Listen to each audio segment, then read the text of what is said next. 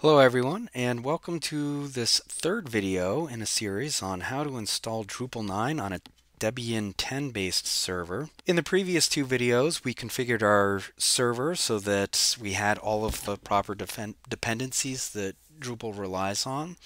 Uh, we also got the code from the Drupal website and we made sure that our Apache 2 web server is able to find all of the files and code that it needs to run Drupal 9. In this video, we're going to go over how to create the database, uh, which is a pretty quick and easy thing to do. Uh, the instructions that Drupal provides for us are really quite good, better than most open source systems I've had to build that just assumes you know how to build a database and um, create a user for that database.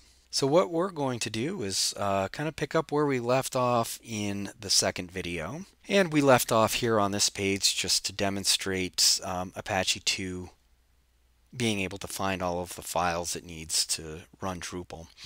We're going to go back to the instructions page. And so in the previous video, we left off here at the download Drupal. Uh, what we need to do is just hit the back button.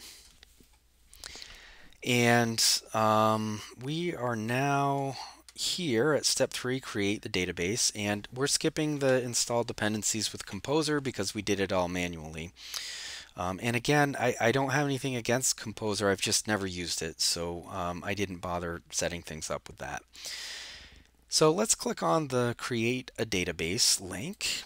They have a couple of sections, so if you're uh, a web browser based control panel. So if you have, so if your host allows you to access something like C panel or Plesk, um, you'd be able to kind of do things there. Uh, you can use PHP MyAdmin to set things up. Uh, I really do, I don't have any issues with PHP MyAdmin either. I just feel things are, are quicker and easier and just all around better using the command line. Um, and it really makes sense to, to learn that environment. Uh, so I'm going to use SQL commands. I'm just going to click on that so that we get down there quickly. And in this section here, uh, we're just going to look at these commands uh, that they have. So what they're telling us here is we need to create a new database for our site, and they give us the command to do that. And actually, in this case, what I think I'm going to do is um, put these two screens side by side so that we can copy and paste things to make life easier for us. Uh, move that down. Sorry, just adjusting things here. Um, let's go ahead and clear this. And okay, create database from that. So uh, we're going to follow these steps here. Uh, create a new database for your site. I'm just going to copy all of this and we're going to have to edit it uh, let's see, paste. And um, if I, you'll notice that my cursor is at the end of the string here. Uh, what I can do is hit Control A to get to the front. And this is something that I'm going to have to run as a sudo user. So I'm just going to put that at the beginning of the line. And then if I do, um, we need a username. for this and what we need to do is put in root because that is the only user that we have access to now. So we're telling MySQL, which in this case is actually MariaDB, uh, for the user root, ask for the password, and then execute this command here, the create database, database name, and we don't want it to be database name. We want it to be, I'm just going to call my Drupal database Drupal. Um, and then the, it gives us the character set for that database. Um, not exactly sure what the collate command does, but they provide it here, so we should probably use it. Um, and at this point, if I hit enter, that should go ahead and create that new database for us. And this is a little bit cut off, sorry about that. Okay. And so they want us to enter the password, and I believe it's the root password. So um, whatever we set up in, I don't know, what was it, the first video, second video, I can't remember which one, where we set up the MariaDB database. But whatever password you gave when we ran the MySQL secure install directive, um, that's the one you want to use here. And if that doesn't work, then then try the one for your system. Uh, sometimes it, because we're using sudo, sometimes it might ask you for your system user user's password. Sorry, um, but in any case, this this looks like it, it ran successfully. And then what they're telling us to do next is uh, log in and set the access database rights. So we'll do that. And they give us the MySQL user username p directive. Um, and again, I, th I think you're going to have to use sudo. Um, sudo mysql dash uh, u and then the root user and then p and then that root user's password we can actually check to make sure that the database was created su successfully by running the um, show databases bases command. Don't forget the semicolon.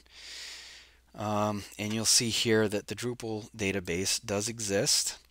And what we'll do next is um, create a user that has access to that database. And I'm just going to copy and paste this.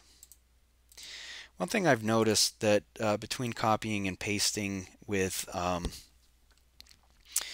websites and command lines is sometimes it will come over, these single quotes will come over as a backtick. So it'll kind of look like that, which is not what you want. Uh, so if that is the case, make sure that these are actually single quotes. And we have to edit this because we don't want our user to be called username.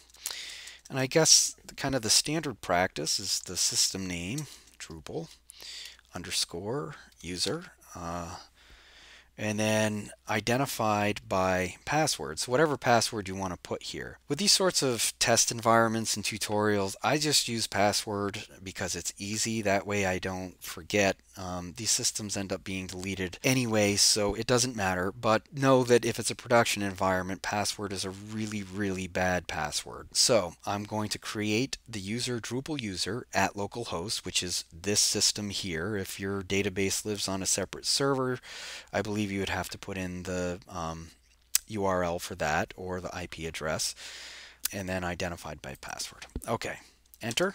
Okay, great. And at this point, uh, let's see, we need to pass the proper permissions to the user. And here they kind of list out all of the permissions that they will have so they'll be able to select and insert and update. And if you're not familiar with MySQL, that's not a huge deal. Um, but if you're curious, you could certainly do some Google searches to learn more about those. You could also just do grant all rather than list all of these out. But I suspect if you grant all, probably giving permissions that Drupal feels um, are unnecessary. So I'm just going to use their recommended command here and copy that. I'm going to paste it here. And again, let's see, we're going to have to delete a, whoops, we're going to have to edit a few things. So these are all of the things this user will be able to do. So they'll be able to insert things into the database and delete things and create things and alter things and all that good stuff. So create temporary tables on, so on the database that we want them to have those permissions. In our case, it's not database name, it is a Drupal and then that dot and then an asterisk, which just means within this Drupal database, the asterisk is a wildcard for every table that exists in that database. Uh, and we're assigning all of these privileges to the username, and uh, we'll need to change that to the user that we created. I think I just deleted a quote there. I did. Um, let's open that. Uh, and we called our user Drupal user, and it has to be in single quotes, and then the at sign, and then localhost in single quotes, um, identified by password. And in this case, I kept that user's password as password, so I'm just going to leave it as that. I think if you change it, it will um, create a second user called Drupal user, and you don't want that. Okay, so we will click enter.